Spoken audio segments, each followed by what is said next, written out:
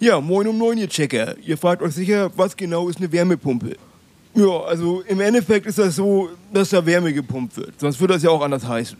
Und mit Pumpen meine ich jetzt auch nicht Gewichte pumpen oder Geld pumpen, sondern eine Pumpe, die pumpt. So im Sinne von Pump up the Jam. Okay, so, bleibt am Ende noch die Frage, wer baut das Ding ein? Da würde ich sagen, einer, der Ahnung hat. Also nicht ich. Tschüssli Müsli.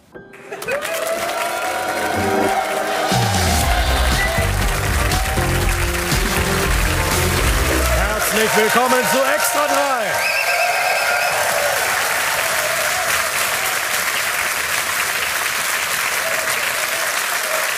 Die Grünen sind wieder da, wo sie eigentlich nie wieder sein wollten. Die Grünen gelten wieder als spaßbefreite Verbotspartei. Vor zehn Jahren haben sie mit dem Veggie Day genervt und jetzt kommt Robert Habeck persönlich vorbei und reißt uns allen die alten Gasheizungen raus. Ganz so ist es natürlich nicht. Und ich finde es auch wichtig, dass zumindest ein Ministerium die Klimaziele ernst nimmt. Aber ob das so funktioniert, wie Habeck sich das vorstellt, also dass bis 2030 sechs Millionen Wärmepumpen in Deutschland installiert sein werden, ich glaube da noch nicht so recht dran. Es ist eher eine, eine Hoffnung.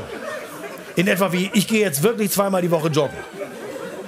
Oder wenn ich nur lang genug suche, finde ich bestimmt eine bezahlbare Wohnung in München. Oder wenn man nur oft genug nachfragt, erinnert sich Olaf Scholz vielleicht doch noch. So Für Habecks Wärmepumpenpläne bräuchte es eigentlich ein Gesetz, das die Finanzierung regelt. Es bräuchte auch viel mehr Informationen über die Förderung. Die Leute wissen ja gar nichts. Es bräuchte Energieberaterinnen, Energieberater. Es bräuchte, was bräuchte es noch? Äh, äh, Dings, äh, Wärmepumpen. Bräuchte es auch. Und natürlich Handwerker, die die einbauen können. Millionen Hausbesitzerinnen und Hausbesitzer wissen gerade nicht, was sie machen sollen. Das hat Robert Habeck bei seinem Gebäudeenergiegesetz offenbar nicht so bedacht. Er ist halt auch selbst kein Handwerker. Er ist Philosoph, betreibt fröhliche Wissenschaft.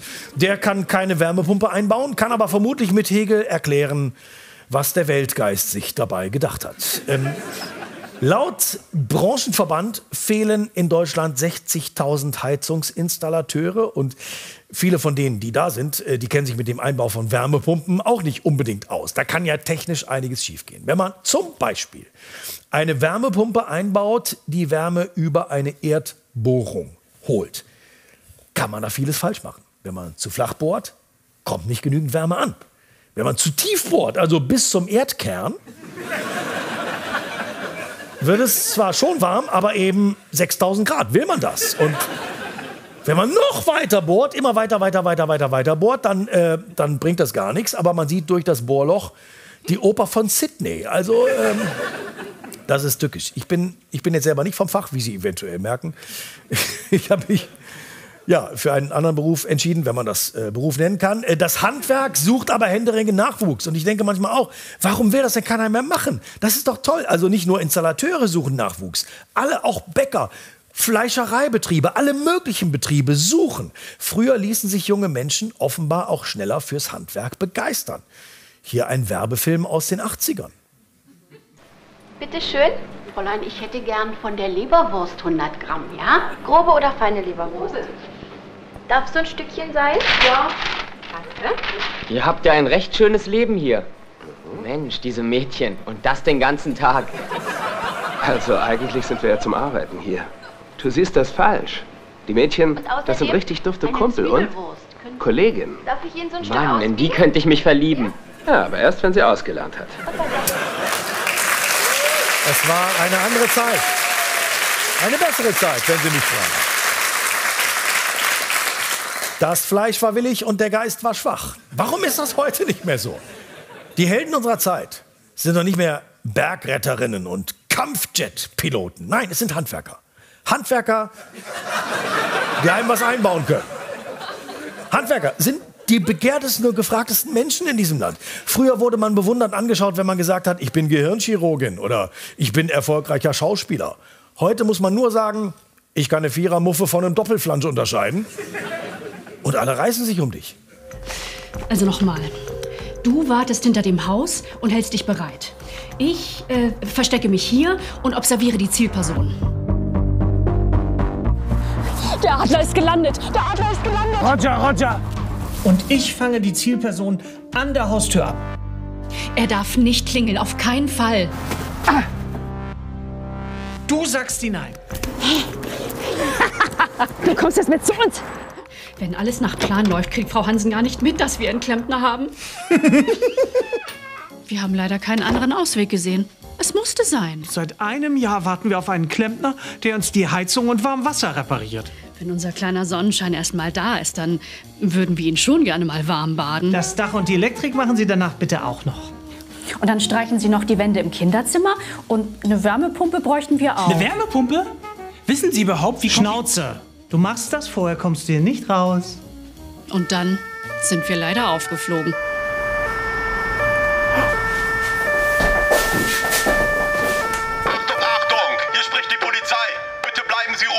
Es soll niemand zu Schaden kommen. Wie lauten Ihre Forderungen?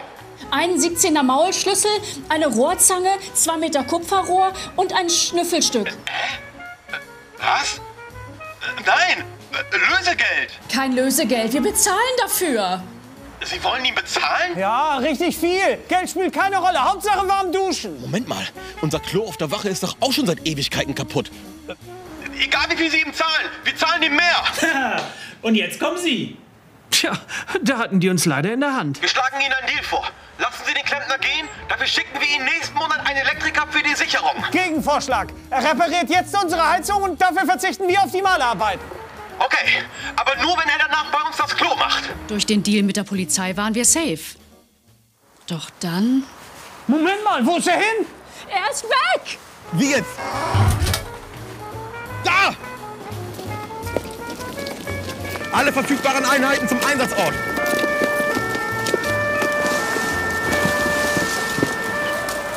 Ein Film von Oliver Durke und Jens Barkhorn. Was ist da eigentlich los in Robert Habecks Ministerium für Familie, Vettern, Wirtschaft und gute Freunde? Ich gebe zu, es klingt alles wahnsinnig verworren, aber glauben Sie mir, wenn man es einmal verstanden hat, dann ist es auch nicht komplizierter als eine ganz gewöhnliche ARD-Telenovela. Äh, wir haben hier mal was vorbereitet. Wir versuchen das mal ganz einfach und übersichtlich zu erklären. Also hier in der Mitte ist Patrick Greichen. Er ist Staatssekretär im Wirtschaftsministerium von Robert Habeck. Patrick Greichen gilt als einer der wichtigsten Vertrauten von Robert Habeck. Man sagt, dass Patrick Greichen viele Gesetze aus dem Hause Habeck maßgeblich mitverfasst hat. Und Greichen hat zwei Geschwister. Sein Bruder ist Jakob Greichen. Greichen, seine Schwester ist Verena Greichen. Und beide Geschwister von Patrick Greichen, der Staatssekretär im Wirtschaftsministerium ist, beide arbeiten verantwortlich für das Öko-Institut in Freiburg. Das ist ein Forschungsinstitut, das den Grünen nahesteht und das vom Wirtschaftsministerium, also von Habeck und von Patrick Greichen, jährlich Aufträge bekommt in Höhe von mindestens 630.000 Euro für Gutachten. Also sozusagen vom Chef des Bruders an die Geschwister. Verena Greichen wurde außerdem noch von der Bundesregierung in den Nationalen Wasserstoffrat berufen, äh, der an den Sekretärsausschuss berichtet, also auch an ihren Bruder. Außerdem ist Verena Greichen verheiratet mit Michael Kellner, der ist auch Staatssekretär im Wirtschaftsministerium, also unter Minister Habeck und damit Kollege seines Schwagers, Patrick Reichen. Verena Greichen kann also sowohl ihrem Mann als auch ihren Brüdern ja nicht nur privat sagen, was Sache ist, sondern auch während der Arbeitszeit. Da klüngeln einem ganz schön die Ohren, oder? Jetzt aber Jetzt aber äh, kommt der aktuelle Knaller. Patrick Reichen war in der Findungskommission für den neuen Chef der Deutschen Energieagentur. Er war am Auswahlverfahren beteiligt. Und wer wurde es? Wer wurde es? Es wurde Michael Schäfer, der wiederum Trauzeuge von Patrick Greichen war. Das ist vermutlich aber noch nicht alles. Uns liegen bislang unbestätigte Informationen vor, dass Greichens Schwibschwager mit der Tante des Cousins von Harry Potters Mutter bekannt sein soll, die einen Hund hatte, der mit der Oma der Katze von Anton Hofreiter verschwägert ist. Da stellt man sich doch ganz automatisch die Greichenfrage. Die da lautet, Moment mal, könnte es sein, dass es auch in meiner Familie irgendeine entfernte verwandtschaftliche Beziehung zu Patrick Reichen gibt?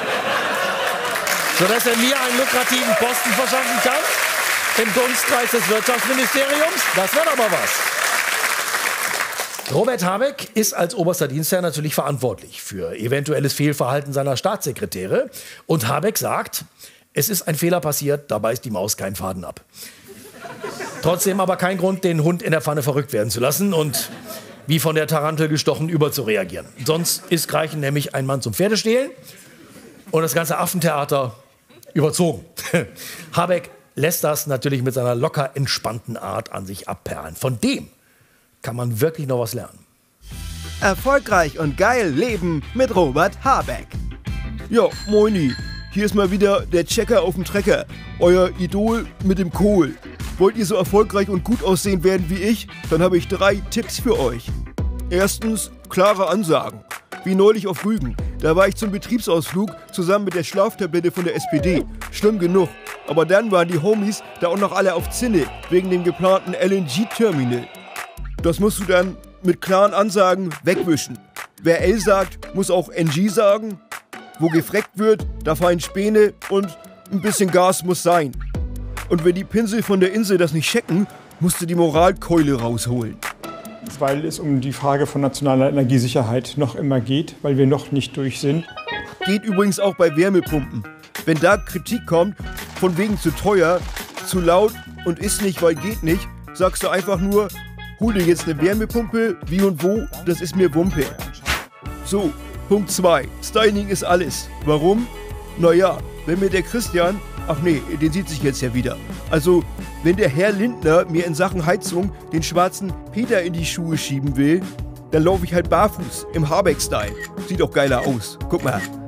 Und noch ein heißer Styling-Tipp: Bauhelme. Die gehen immer. Wobei, wichtig ist natürlich, was unter dem Helm ist. Also, in diesem Fall ich. So, und drittens das Wichtigste. We are family. Wenn du so ein Wirtschaftsministerium leiten willst, umgib dich mit guten Freunden, die sich auch alle untereinander gut kennen und möglichst verwandt, verheiratet oder verschwägert sind. Da müsst ihr bei Meetings nicht immer diese beknackten Kennenlernspiele spielen. We Are Family ist auch geil bei Preisverleihungen. Als ich neulich den Energieküsten Award bekommen habe, weil ich der geilste Typ Schleswig-Holsteins bin, hat mir das Ding der zweitgeilste Typ Schleswig-Holsteins überreicht. Mein Bruder. Und jetzt kommt ihr. Das war erfolgreich und geil Leben mit Robert Habeck. Nächste Woche zeige ich euch, wie ihr perfekte Politikerfotos macht. Kleine Einschränkung, funktioniert nur mit mir. Macht's gut. Euer Robert.